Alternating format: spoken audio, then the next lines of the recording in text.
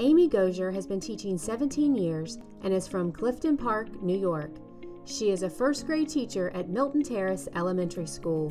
Gosier created a cross curricular agricultural unit on corn that addressed all five themes of agricultural literacy, as well as many of the New York State Common Core and next generation science standards.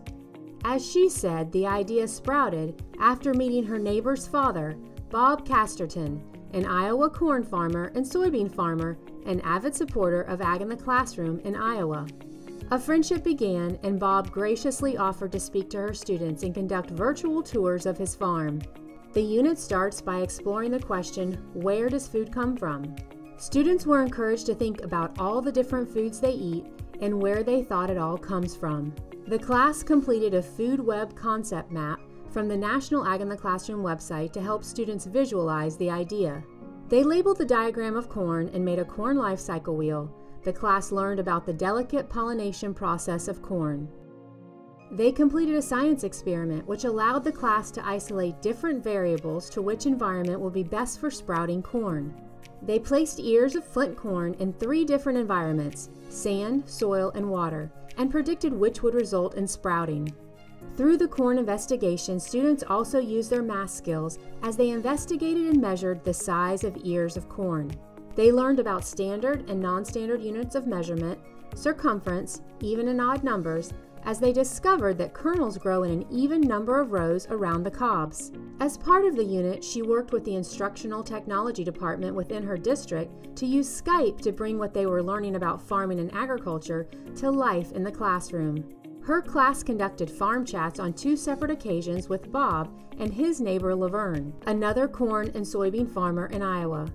The Skype sessions gave the students a tour of the farm facilities and equipment, including a virtual ride on the combine harvester as the farmers were harvesting corn during their fall harvest.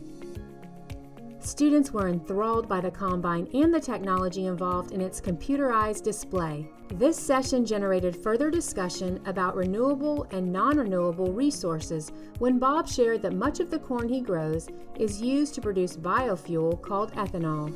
As a STEM extension, the class made bioplastic from corn ingredients and worked together to come up with a list of possible uses for humans. As an extra special surprise, Bob came into their classroom as a mystery reader. The class was thrilled to see the real person behind the Skype sessions.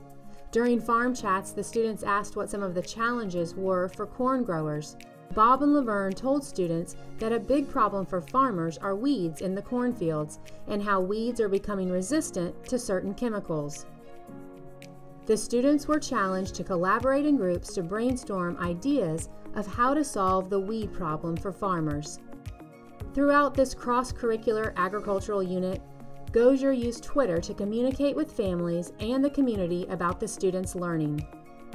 As a result of this unit, her students are now more agriculturally literate and understand the significance of agriculture not only for their community, but throughout their country and world. Amy Gosier, 2018 National Excellence in Teaching About Agriculture Award recipient.